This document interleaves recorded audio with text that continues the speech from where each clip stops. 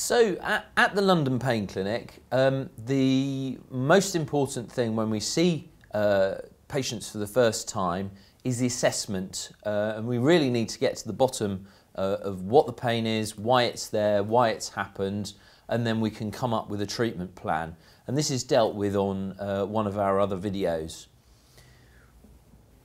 When we talk to patients about treatment, um, there are another number of different treatment modalities that we use.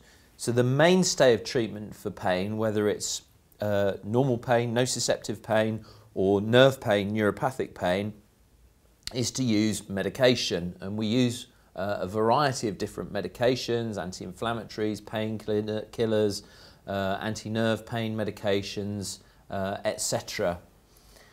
We're always trying to balance benefits in terms of pain relief versus any adverse effects, and we have lots of little tricks to do that um, to allow patients to take their medication. Um, we also use uh, what we call minimally invasive pain management procedures, and this may include, for example, the injection of uh, steroid preparations, of Botox, the use of radiofrequency, and that can be pulsed radiofrequency or radiofrequency denervation, uh, we also use PENS therapy, peripheral electrical nerve stimulation therapy, and a wide number of other uh, treatment options that are available. Now, what is absolutely vital, and we uh, talk to the patients about a lot, um, is that essentially all of those treatment options are there to break the cycle of the pain, to reduce the intensity of the pain, uh, and to overall produce pain relief. That's really the first step. The second step is once we have managed to do that, um, is to rehabilitate the patient.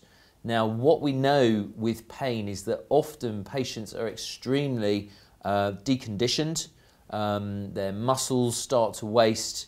Uh, they're not as strong. They don't have as much aerobic activity. They don't have as much uh, sort of reserve in them, as it were. So they tire very easily. Uh, they're not able to really do much in the way of exercise, etc.